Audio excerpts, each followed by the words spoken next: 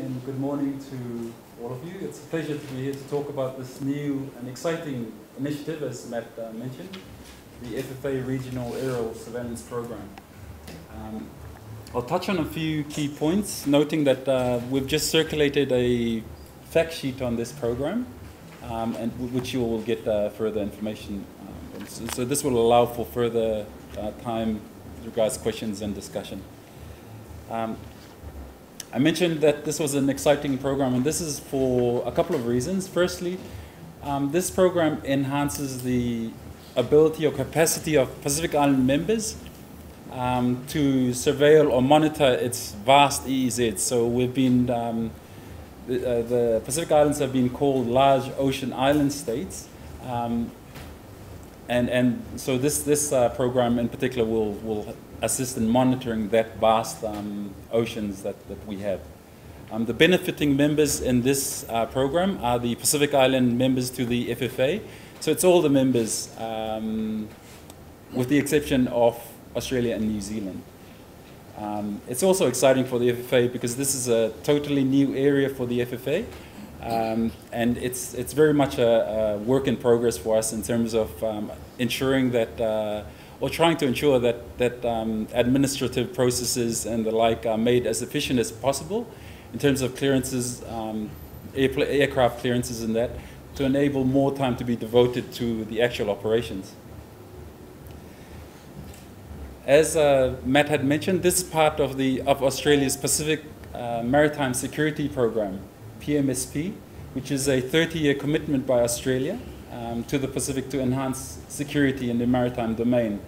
Two other components of this uh, PMSP are the replacement of the patrol boats, benefiting 12 uh, Pacific Island member countries, and this, the other component is um, enhanced cooperation and coordination um, with things like uh, enhanced data sharing, networking, and the like. In particular, this um, aerial surveillance program is um, being coordinated by uh, the Australia's uh, Department of Defence, where they've contracted a uh, civilian service provider to provide two aircraft, two King Air 200 aircraft.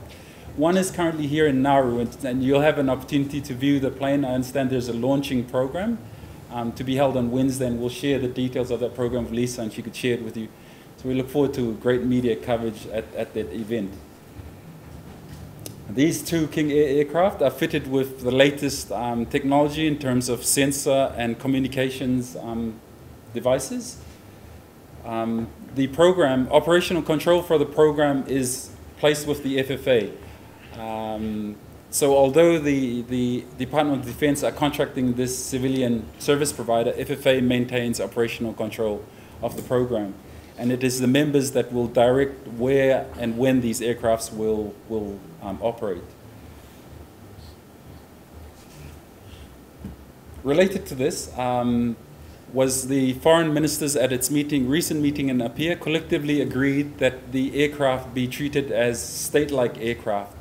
So once again, trying to ensure that the processes are made as efficient as possible. Clearance processes are are done in accordance with state aircraft, and as you may be aware, this you know ensures that they get appropriate immunities and privileges according to state aircraft.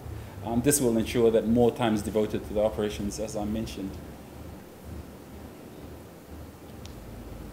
Um, and although uh, the program is currently focused on fisheries, um, we will be extending this to the wider, uh, broader law enforcement areas, such as um, uh, drug trafficking and people smuggling. So there's, there's, there's an opportunity to also cover these areas. Um, in regards to the aerial surveillance product, or what is being gathered by the planes, um, this will be transferred to members via the FFA. Um, and it's important to note that all this data is co controlled by the members in whose EEZ the data is taken from.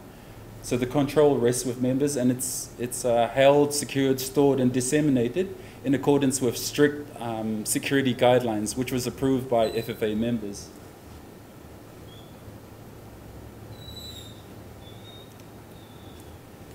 Um, in conclusion, I, I, I, I, must reiterate the point that, that this greatly enhances the ability of members to, to surveil its waters. We have limited assets. Um, I, am aware that some countries don't have uh, patrol boats. Um, some have one, some have two to cover this vast um, sea area. So having these aerial surveillance uh, aircraft will definitely um, enhance the, the ability of members to monitor its waters.